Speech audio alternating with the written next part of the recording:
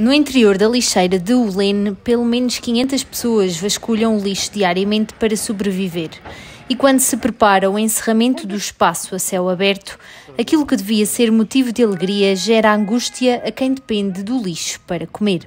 Sem nenhum trâmite legal, sem terem pensado eh, no, no futuro, isso pode ser um caos isso pode ser um caos, isso pode acelerar a prostituição, porque temos muitas senhoras aqui, temos muitas moças aqui. A maior percentagem das pessoas que trabalham aqui são mulheres.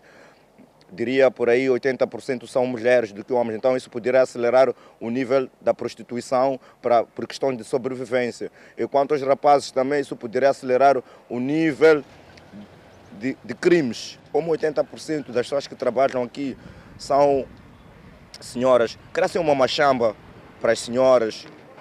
As senhoras podiam trabalhar na machamba. Os temos jovens aqui, temos diferentes, muitos jovens aqui. Crescem cursos, cursos gratuitos, cursos podiam ser carpintaria, cerejaria, outros podiam ir à mecânica, e que no fim disso atribuíssem kits. Então, encerrávamos a lixeira e ficávamos na paz.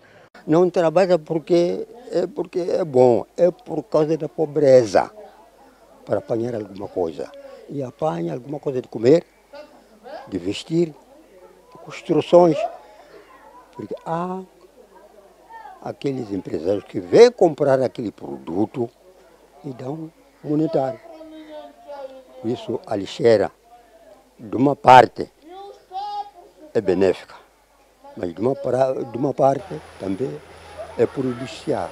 Por dia, estima-se que mais de 1.200 toneladas de resíduos sólidos sejam depositadas na lixeira de Ulene, localizada ao longo de uma das principais artérias de Maputo.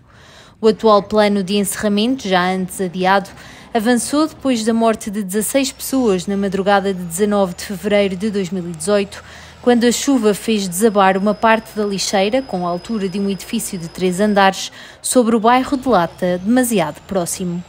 Além do risco de haver um novo incidente, as autoridades justificam o encerramento com a necessidade de travar o impacto ambiental.